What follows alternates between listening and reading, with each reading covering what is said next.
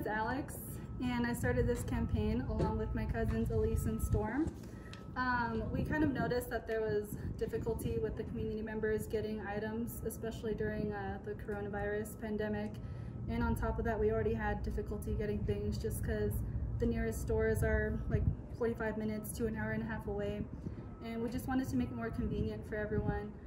And so instead of talking about it a lot, we just decided to spring into action and do something about it. So we launched this campaign and the execution took us about a month, maybe a little more. And I mentioned this to Patty at CEI and you know, she just sprung right into action and so did CEI. So we got a lot of support from them and we're really thankful for that.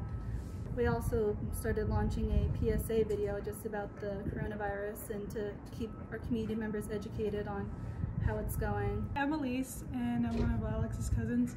So about a month ago when we started this, she just like out of the blue texted me, and was like, hey, do you want to do this? And I was like, oh yeah, sure. So at first it was just for fun and then we realized how important it was. Just basically trying to inform our Hopi community and others like with the convenience stores and just trying to raise awareness of the virus that's going on right now.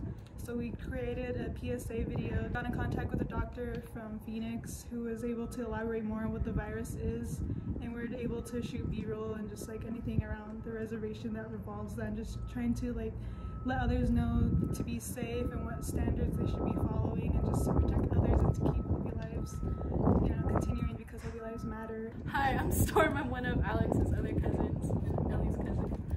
When we first started this project, we didn't think it was going to grow as big as it did. But we're glad that it did, and we're so thankful to the people at CEI and all of Alex's amazing coworkers for helping us push this through. I think we realize how important it is because we do have a lack of water